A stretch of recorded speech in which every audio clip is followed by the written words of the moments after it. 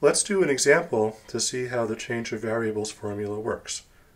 So remember the formula says that the double integral over r of f with respect to area is the double integral over s of f composed with the transformation t times the absolute value of the Jacobian with respect to area, where t is a transformation from the region S in the uv plane to the region R in the xy plane, which is a differentiable bijection between these two regions.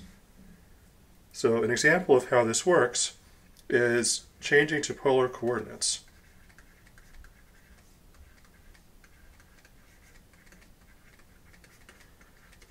So when we change to polar coordinates, we want to replace the x and y coordinates with the polar coordinates r and theta. So let's say we take u to equal r and v to equal theta. Okay, so my picture is no longer very well to scale. But anyway, what happens when we change to the r and theta coordinates? Well, so we have to compute the magnification factor, the Jacobian. So here x is r cosine theta, then y equals r sine theta. And what's the Jacobian? So d of xy with respect to r theta, so it's the determinant of dx dr, dx d theta, dy dr, dy d theta. And well, let's figure this out. So this is the determinant of, so dx dr is cosine theta, dx d theta is minus r sine theta, dy dr is sine theta, and dy d theta is r cosine theta.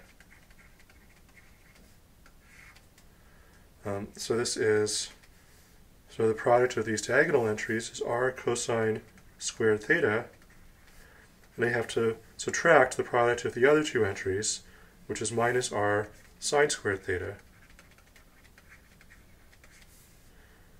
So this is r times cosine squared theta plus sine squared theta, so it's just r. And that's the magnification factor we got before.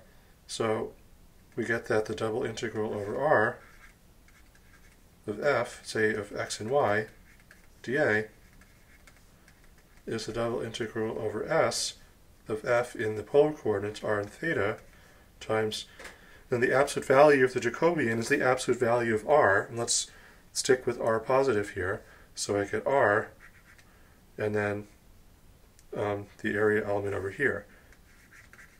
Which when you expand this out, if you do this as an inter as an iterated integral, then the dA becomes dr d theta.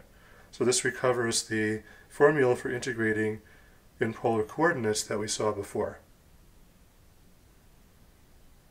We can also see what happens in spherical coordinates this way. We'll do that in the next lecture segment.